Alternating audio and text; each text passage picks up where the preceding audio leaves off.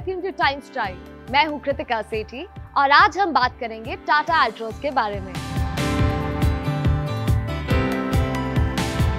आज सबसे पहले हमें दिखाई गई थी 2018 ऑटो एक्सपो में एज द 45x कांसेप्ट उसके बाद Tata Motors brought out an almost production ready avatar of the hatchback at the 2019 Geneva motor show it will be the first Tata car to be based on the brand new Alfa platform It will also be the second Tata car to feature the Impact 2.0 design language जो कि टाटा ने सबसे पहले Harrier पे इस्तेमाल करी थी So there will be that Tata Humanity line on the grille, LED projector headlamp, LED DRL and 5-spoke alloy wheels.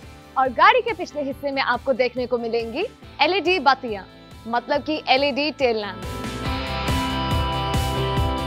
Inside, we expect Tata Altroz to get steering mounted controls semi-digital instrument cluster, and a touchscreen infotainment system with Apple CarPlay and Android Auto.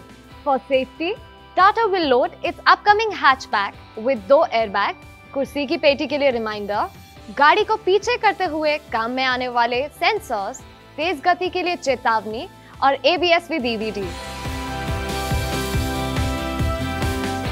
अब बात करते हैं इस गाड़ी के engine options के बारे में टाटा एल्ट्रोस में आपको वही इंजिन मिलेंगे जो नेक्सॉन में भी हैं, यानी कि एक दशमलव दो लीटर का पेट्रोल इंजन और 1500 सीसी का टर्बो चार्ज डीजल इंजन इन दोनों इंजन के साथ आपको मिलेगा एक मैनुअल गेयरबॉक्स और एक ए का विकल्प।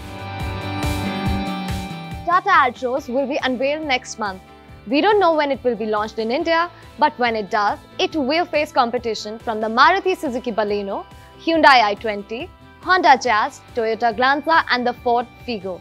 That's all for now about the Tata Altroz. We'll be back soon with more news and I'll be back with Behatar Hindi Shabdavali. Don't forget to follow us on Facebook, Instagram and Twitter and hit that bell icon on our YouTube channel.